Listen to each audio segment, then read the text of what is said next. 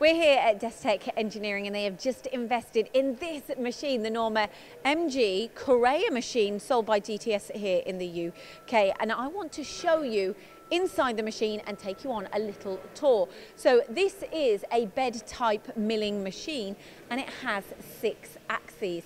So in the X axis we've got 2.5 meters and in the Y and the Z is 1.5 meters, 30 meters a minute high feed rate.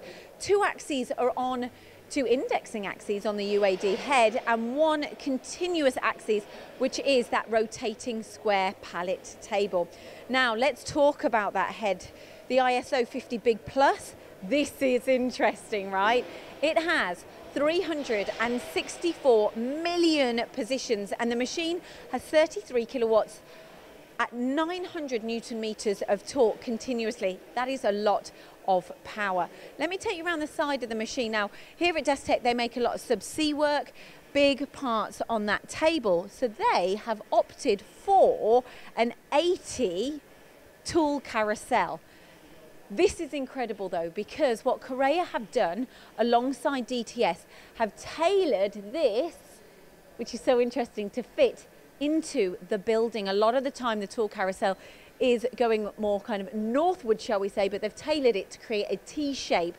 Isn't that amazing to tailor that just to fit into this company?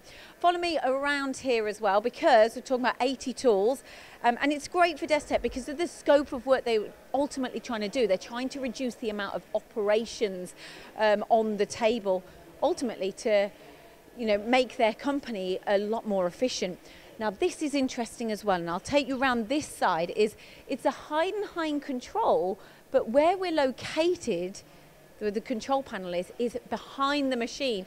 We have spoken to the operator and he said, okay, originally I found it quite tricky, but he's got his head around it to actually be looking at the part from this angle as opposed to from the front, because a lot of the time, of course, we see machines and the doors and the control panel at the front.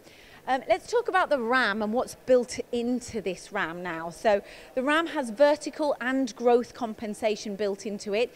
Growth compensation device um, on across axes to allow the machine to be able to stabilize in workshop temperatures.